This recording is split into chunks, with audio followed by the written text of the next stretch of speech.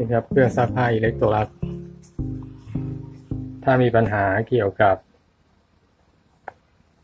ถังไม่หมุนนะครับ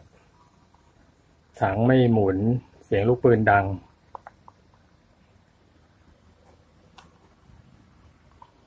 ให้มาเปิด ฝาชิ้นนี้นะครับ ฝาชิ้นนี้ โดยถอดหนึ่งสองสามสี่ห้าหกเจ็ด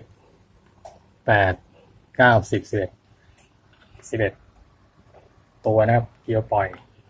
ถอดเปิดฝาออกมานะอันนี้คือวิธีที่เร็วที่สุดที่จะ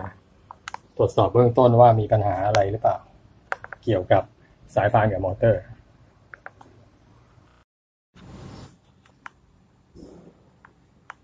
จากนั้นก็ปิดเบรกเกอร์นะครับ แล้วก็ใช้ สว่านไฟฟ้ามาถอดใช้เป็นแจมบล็อกธรรมดาก็ได้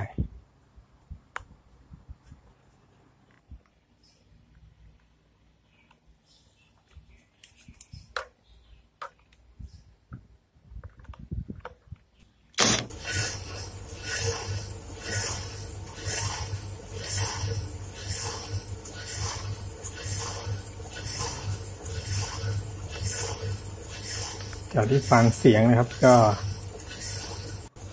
แน่นอนแล้วว่าลูกปืนมีปัญหาแล้วดูจากสภาพที่มองเห็นนี่ ก็คือลูกปืนเนี่ย เริ่มแตก เริ่มแตกแล้วนะครับเราต้องหามาเปลี่ยน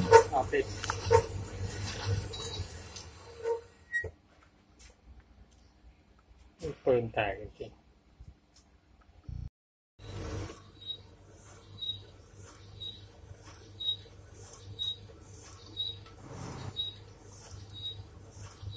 จากสภาพที่เห็นถามว่ายังใช้ได้ไหมก็ยังพอใช้ได้ แต่เราต้องคอยมาดูมันนะครับคอยฟังเสียงเพราะว่าถ้าเกิดว่ามันติดขัดมากๆเนี่ยมันจะทำให้ถังไม่หมุนแล้วก็มีผลกระทบไปถึงสายพานสายพานนะครับ ถ้าดูท้ายคลิปก็จะมี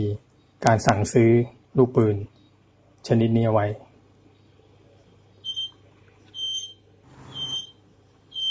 ถ้าชอบคลิปแบบนี้นะก็กดไลค์กดแชร์ ขอบคุณครับ